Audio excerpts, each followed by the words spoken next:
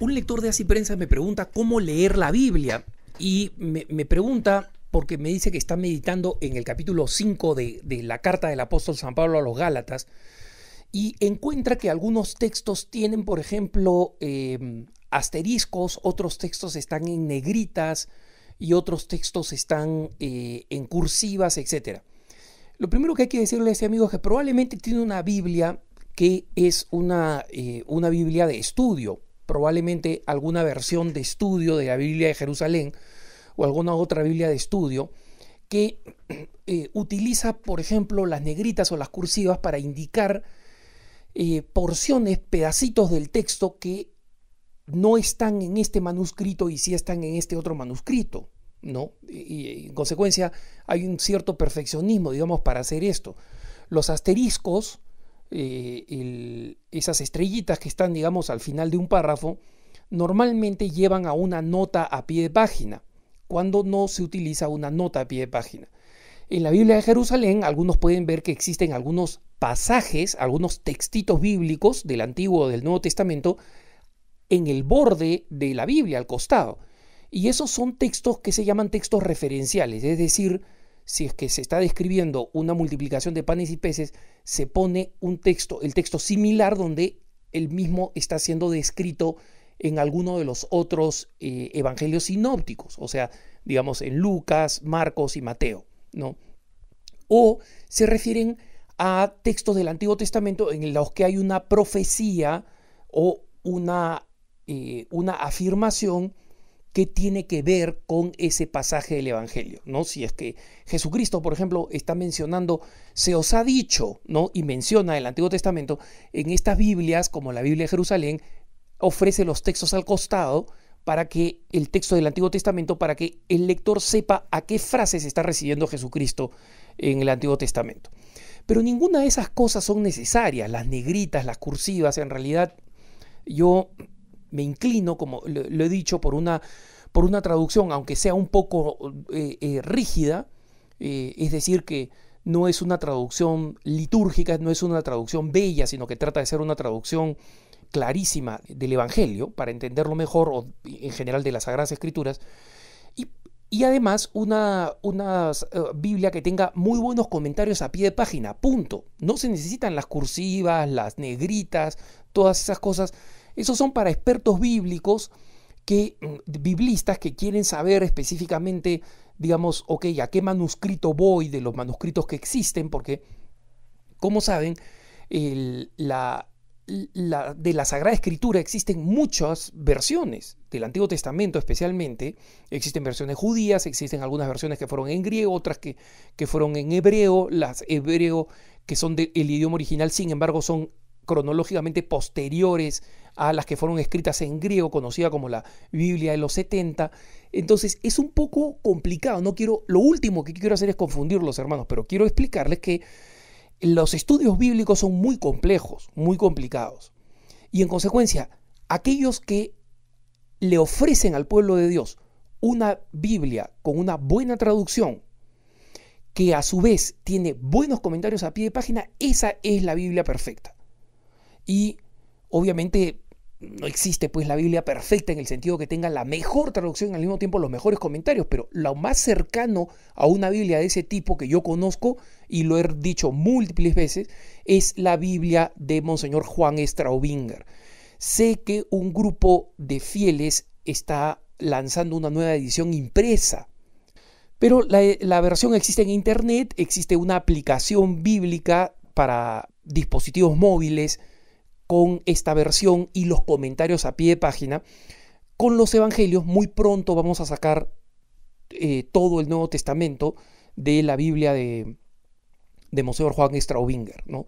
Entonces, esta es la, Biblia que yo recomiendo, la Biblia de Monseñor Juan Straubinger. Y en consecuencia, el que quiere leer y estudiar e interpretar las Sagradas Escrituras, la, tiene básicamente esta forma de leer que es una buena traducción para poder entender bien en el español lo que fue escrito en griego o en hebreo, ¿no?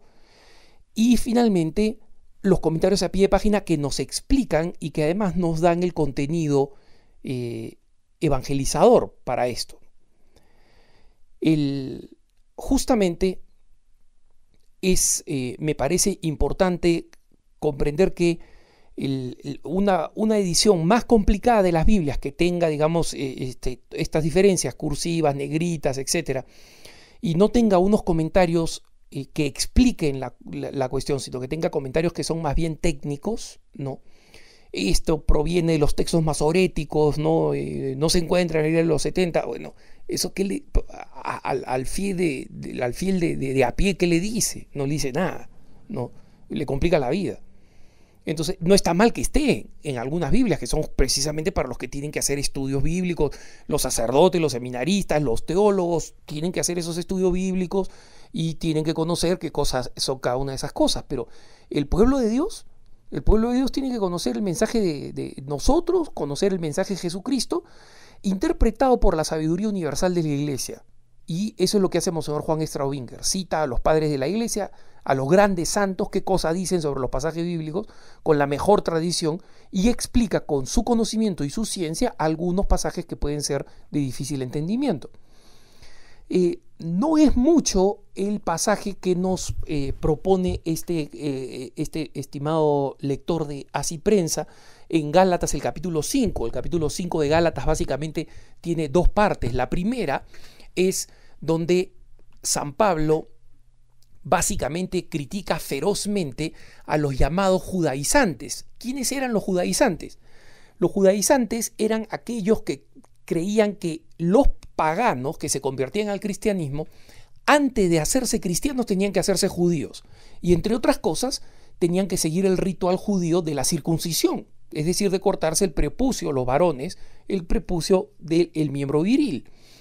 Entonces, lo que hace San Pablo es hacer una burla de qué tiene que ver la circuncisión con la incircuncisión. Por eso habla de la circuncisión y de la incircuncisión, porque está criticando a los, este, a los judaizantes.